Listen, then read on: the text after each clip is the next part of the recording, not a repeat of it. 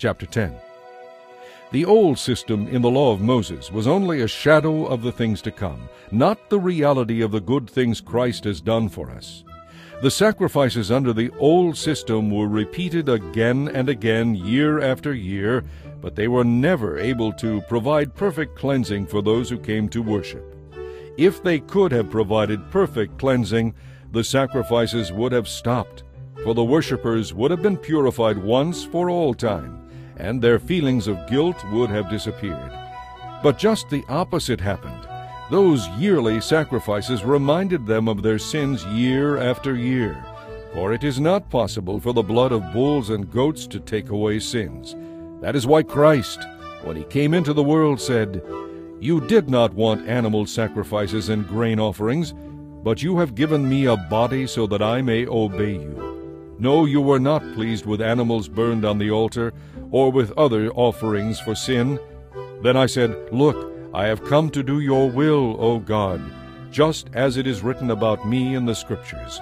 Christ said, You did not want animal sacrifices or grain offerings or animals burnt on the altar or other offerings for sin, nor were you pleased with them, though they are required by the law of Moses. Then he added, Look, I have come to do your will. It cancels the first covenant in order to establish the second. And what God wants is for us to be made holy by the sacrifice of the body of Jesus Christ once for all time. Under the Old Covenant, the priest stands before the altar day after day, offering sacrifices that can never take away sins. But our high priest offered himself to God as one sacrifice for sins, good for all time. Then he sat down at the place of highest honor at God's right hand. There he waits until his enemies are humbled as a footstool under his feet. For by that one offering he perfected forever all those whom he is making holy.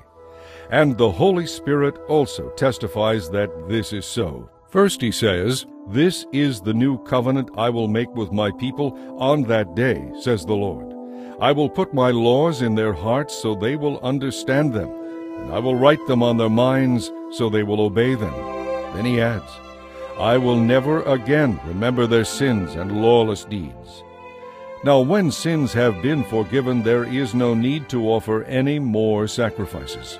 And so, dear brothers and sisters, we can boldly enter heaven's most holy place because of the blood of Jesus. This is the new life-giving way that Christ has opened up for us through the sacred curtain by means of his death for us. And since we have a great high priest who rules over God's people, let us go right into the presence of God with true hearts, fully trusting him. For our evil consciences have been sprinkled with Christ's blood to make us clean, and our bodies have been washed with pure water.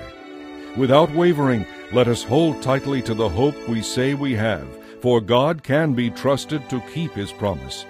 Think of ways to encourage one another to outbursts of love and good deeds. And let us not neglect our meeting together, as some people do, but encourage and warn each other, especially now that the day of his coming back again is drawing near. Dear friends, if we deliberately continue sinning after we have received a full knowledge of the truth, there is no other sacrifice that will cover these sins. There will be nothing to look forward to but the terrible expectation of God's judgment and the raging fire that will consume his enemies.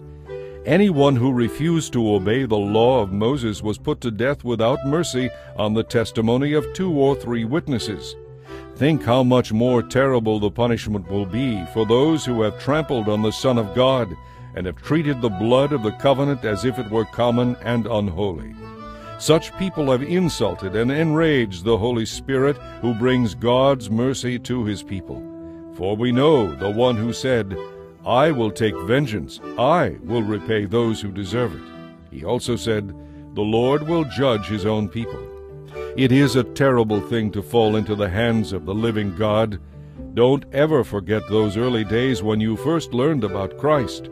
Remember how you remained faithful even though it meant terrible suffering.